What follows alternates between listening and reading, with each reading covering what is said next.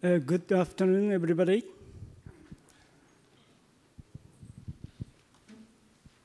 We will start the afternoon session.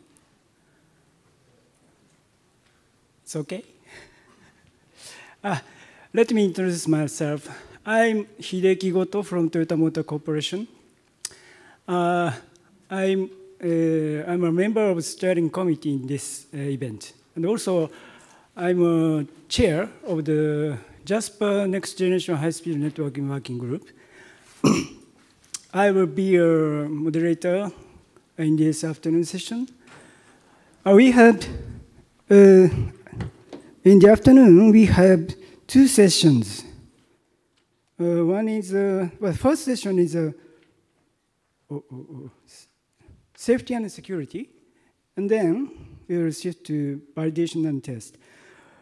Uh, in this uh, session, we have two interesting uh, presentations. The first of the, the first uh, presentation is security protocols and applications, best friends or worst enemies. The presenter is Antonio Gallego, and please let's start the presentation. Thank you.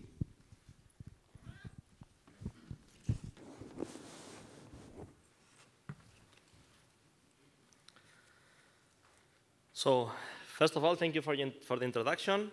And let's see after, after the mealtime how, how we are doing now to, to speak a little bit about security. So we will uh, start speaking about security protocols and applications, how they interact with each other. Uh, this uh, presentation was prepared by several colleagues, colleagues from Technica Engineering, so Dr. Lars Völker, Jose Galve, and myself, Antonio Gallego. Uh, my, our, my, colleagues cannot be here today, unfortunately, but I will try to do my best to explain what we have done together. So we will start uh, having a small introduction on why do we need security and what we will discuss today. We will then take a look to the security protocols that are being used nowadays in the automotive networks, of course in the onboard network. We'll try to check some points how can we improve on future generations, and we will reach a conclusion. So let's start. So uh, first question that a lot of people is having is why do we need security in the onboard network? This makes everything more complex. It, may, it makes the um, software more difficult to build, to integrate, and to um, release. But the reality is that safety is only dependable when the right security is present. What does this mean? In the last generations, we are having more and more uh, autonomous, autonomous driving functions, for example, which can actually control our car. The clients must trust on the car that will drive alone, autonomous, without being controlled by anybody, and they must be sure that nobody can change the behavior of the car from outside. So security seems to be something that is quite uh, crucial for these scenarios and use cases. Not only that, there is a lot of new regulations appearing. Uh, one of them is the one mentioned here, the UN ECE R155, that is actually mandatory in the European Union, for example, in order to be able to sell cars since last year. There is other regulations like the ISO SAE 21434 that as well take the topic of security to a next level. And we see that is getting more and more important in the next generations. But while designing the new generations, the new architectures, the new software, we jump to a lot of questions about does security slow down the development process? Yeah, of course it does, but we will see today that we can make this a little bit easier. We have to think as well how can we do the security transparent for the application developers, and we will as well speak today about which is the conflict between applications that communicate and security. Of course, the focus today will be based on networks, So we will speak about network security only. So we have here um, simplified uh, software architecture. So it's actually the communication stack, very simplified. And we see that the classic um, model is based on layers. Okay? Each layer is specifically for one thing, it has a specific uh, responsibility, and we know what each of them has to do and how it will signal to the upper layers when the communication can start. We have here layers that the main, whose main um, target is actually to find of the physical channel is available. We have some that actually tell us, okay, is somebody at the other side? Which physical network, uh, physical uh, node I have on the other side? Which network do I have on the other side? And which services can I consume or send in the communication channel? And on top of everything, of course, we have the applications. Each of them signal to, signal to the next layer when it's ready to start to send packets. And now the question comes, so where should I include security? So there is several options that we will check now, and they, it can be included, of course, in any of the layers. Let's take a look, analyze what is now included in the different layers, starting with the one on top, the application layer. TLS, so the transport layer security, and DTLS for the UDP uh, traffic, is present already in the IT, in the IT uh, sector since the 90s. It was created for mainly for communication between servers and um, browsers and web servers. And it was created for this specific case. It was mainly created with the focus of uh, making secure the HTTP traffic. The reality is that in the car, we don't use HTTP or specifically HTTPS as much as in the IT um, um, sector, but we are using TLS anyways. How do we use TLS? In order to use TLS, the applications must use, instead of standard sockets, the so-called secure sockets. And that means the um, application developers must know what a secure socket is and must configure in the application to use this one for a certain type of traffic.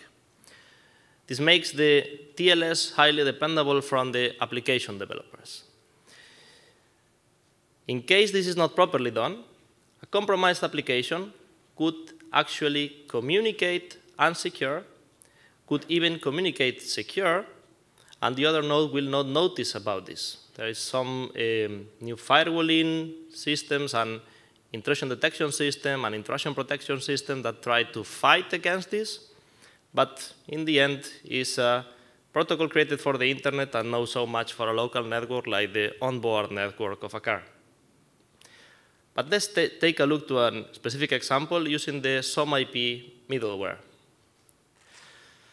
So the SOME/IP middleware can send usually over UDP or TCP. And let's start with TCP cases. In the TCP case, we will use TLS. Okay? The SOME/IP SD middleware was created when security was not there. So it was designed without security in mind.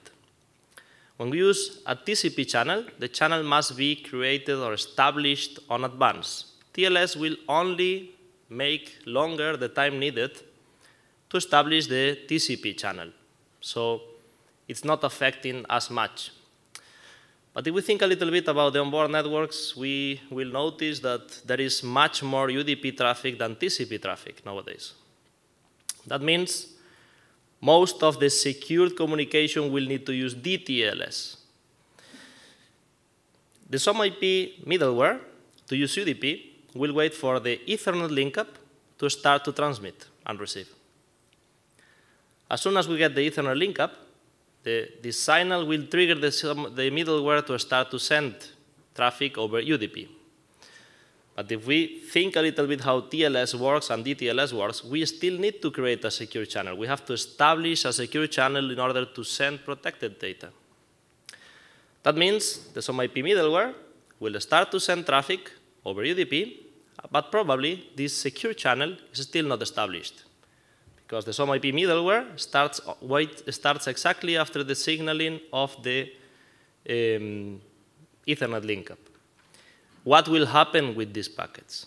These packets will probably get dropped internally on the ECU when we have firewalling underneath, or they could even reach the cable not being protected. We could even accept packets which are actually not protected during this time. It's not so trivial, it seems, in the end, to um, use TLS or DTLS with SOME/IP, for example. We would have to change the middlewares in order to wait for DTLS traffic. So let's speak about the next layer. We could actually protect the network layer. And in this case, IPsec is there as well since the 90s. Main target of this protocol was to create uh, VPNs so we, for sure, all of us are use, used IPsec in the last months or in the last years due to Corona. A lot of companies started to use VPNs more and more. But this IPsec is a little bit more abstract for the applications. These daemons that take care of establishing the IPsec channel are running usually in the operative system. It will create a tunnel, and we can send traffic on top of it. How does IPsec knows which is the traffic to send and which is the traffic to don't send through the tunnel? This is actually quite easy. They have the so-called secure policies, that is in the end a rule. You will know which traffic has to go through the tunnel and which traffic will go unprotected. The applications typically does, are not aware of IPsec. We are again in the previous case if I try to send traffic, but I'm not aware about IPsec, I will not get any signal from the stack that is telling me when the tunnel is ready. It will again be in the case that we will probably drop packets. We can see here in this layer that it's a really simplified rule. We have the path to accept packets and the uh, path to drop them. It could happen that we start to send traffic again. The SOME/IP, the SOME/IP middleware, for example, will start to send traffic. The tunnel is not ready. We will drop a lot of traffic here. So it seems again that the applications need to be aware of security. This force again us to modify a little bit how the applications are designed to include new signaling.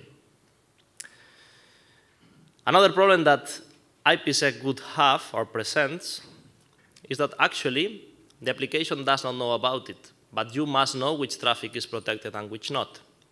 We have to somehow configure the applications so we know exactly which traffic will go through the tunnel and which not. We have to somehow, could you say, give the data to the application so they know which traffic is protected and which not.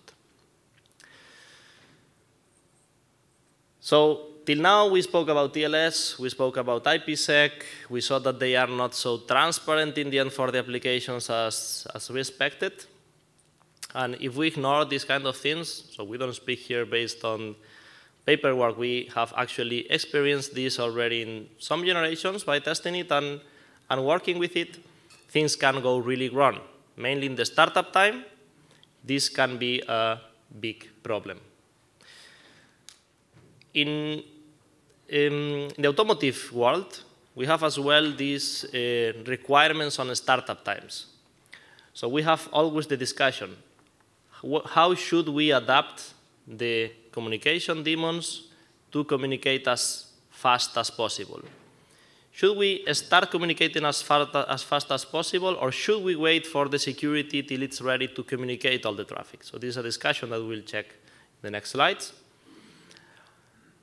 how can we actually make this complexity of the security hidden for the, for the upper layers and the applications?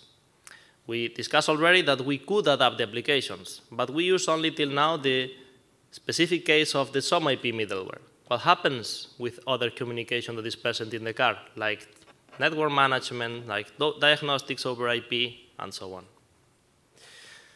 We can improve and to do it, we propose here some of the to say, cases that we have learned during these years. The first topic that we see and we detect is that most developers are not, so application developers are not experts in secure communication. They don't need to, neither, and probably they don't want to be experts on security. We have to try to keep security abstract for them. We have to leave the application developers focus on the work that they have to do, that is to develop the application, and not so much in um, taking care of the security part. In order to make this easier, we have to avoid creating new specific APIs for security. This makes everything really complex. We have to leave, let the integrators and the communication experts or security experts worry about security. We have to try to use as much as possible standardized APIs. This is good mainly for the OEMs. Right now, in Europe, for example, it's getting quite hard to find good developers. If you use standardized APIs, developers can get more information on the internet, they can get more support, they can use things that they know already from other sectors. If we use specific ones, they will have to learn everything from the, from the beginning. And we have to, of course, try to create solutions that are able to work with updates on the future. We have to secure the platform, try to move the security to the lower layers, and avoid keeping the security in the application layers. To keep it in the application layers complicates the updates process. Another proposal that we have here is actually to include a new protocol that is as well an IEEE standard protocol, which take most of these problems, so take care of most of these problems. This could be MACsec. So MACsec is able to align the Ethernet link-up signal with the MACsec ready signal. On the link-up of the physical layer, the MKA, the MACsec Key Agreement Protocol, will take care of establishing the secure channel and configuring the hardware accordingly. So with delaying only the Ethernet interfaces that will use MACsec, we will already align MACsec and Ethernet link-up. We have an example here. So it's, a, again, a simplified example of an ECU that have an Ethernet interface, physical Ethernet interface, and three different virtual interfaces. We have the MACsec key agreement traffic that could go VLAN tagged or untagged. And this is not protected traffic that can start to send as soon as the Ethernet interface have an Ethernet link-up. We have diagnostics over IP that is, in this case, in this example, linked, so attached to a VLAN tagged interface that thus is not protected neither. And we have the SOME/IP middleware that is actually attached to an interface which is MACsec protected. These interfaces will start to send as soon as the Ethernet interface is ready. We have an Ethernet link-up, we can start to send. This one will start to send as soon as the MACsec Ethernet, virtual Ethernet interface is ready. We'll have some delay, but the both traffic, secure and unsecure, can coexist. As well, this is a protocol that is quite fast. We can establish secure channels much faster than in the case of IPsec and TLS. By using shared, so pre-shared keys uh, configurations, we have been able to measure 40 milliseconds after Ethernet link-up until the secure channel is ready to receive and transmit. This means it is so fast that any application can wait for it. How have we achieved this? We started, of course, so we have been working on tuning and playing with MACsec since two years, more or less now. We started, of course, with the open source solutions from the IT sector, and we tried to tune it. On the IT, they don't have this um, so could we say, tight startup requirements. So they can wait five, ten seconds till the system is up and the security channel is established. But in the automotive sector, we need hundreds of, hundreds of milliseconds is our, uh, could we say, target for the startup time. So we started first by tuning the startup of the application itself. With application, I mean the MKA daemon. We reached 3 till 4 milliseconds of daemon startup on FreeRTOS um, devices. And then we tuned the MKA protocol itself. How did we do this? So the MKA protocol is designed for internet networks. We are working here on a local network that we know really well with the automotive use cases. In automotive, most of the times we know who is the one that is the master or the slave. So we have fixed roles for MKA. One is the key server or the participant, because this is the second um, step that we follow.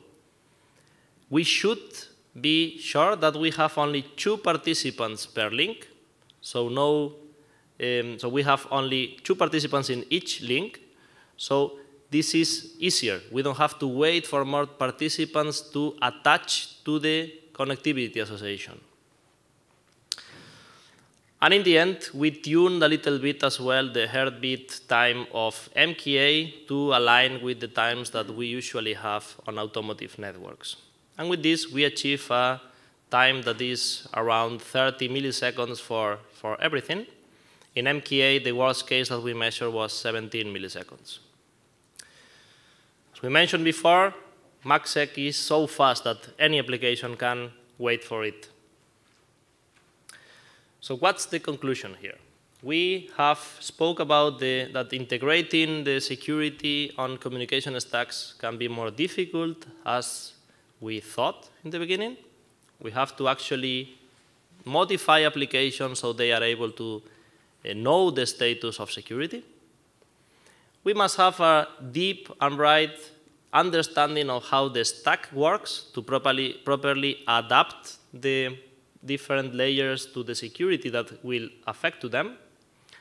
And we have seen that protecting the local network, this means the onboard network of a car is not as easy as we thought with TLS and IPsec. What can we do? We can hide the security for the applications. And MACsec allows to do, uh, to do this by aligning the Ethernet linkup with the security linkup. We, we have to try to avoid special security APIs. And we have to try to create, to use something, some protocol, like for example MACsec, that secures the platform and make the platform easier to update. If done right, application and security protocols can be best friends again. We have one more thing to say today. So after all this time that we have um, invested on working with MKA daemons, we have um, developed our own automotive MKA daemon that will go open source in late November this year, probably in the next two weeks. It will be GPL version 2 license, and of course, for OEMs, there will be as well a commercial license for production available. It supports MKA. It is already tuned for automotive networks with the times that we showed in the previous table. It can be um, attached to standard APIs with the usual security suites like OpenSSL and so on and it's available for Linux-based operative systems. So people can see that MACsec is real and it's possible to get integrated in the automotive sector. That's everything. Thank you for the uh, thank you for the interesting presentation. Any questions from? Are there any questions? Please speak your name and the affiliation first. Yes, hello. I'm uh, Piergiorgio Beruto from Onsemi, so thank you for the presentation. Um, so I have just one comment here. I think it's a great work. However, uh, as you know, we also now are dealing with, again, with multi-drop networks, where maybe securing a single uh, interface in the, in the operating system is not enough, because with multi-drop networks, you will have one network interface which is bound to several nodes, right? So I'm just wondering whether it would be worth adding some capabilities in this modified version of MACsec that you are proposing to handle also this case. So I assume you would need to negotiate the keys with each node on the network. That's my assumption looking at what you presented. Mm -hmm. How do you, what do you think about this? So in the um, case of Linux-based um, uh, ECUs, it's easier because the MACsec part is actually already integrated the, on the kernel. The daemon that we are presenting here is only using the capabilities of the kernel to configure the PHYs or switches.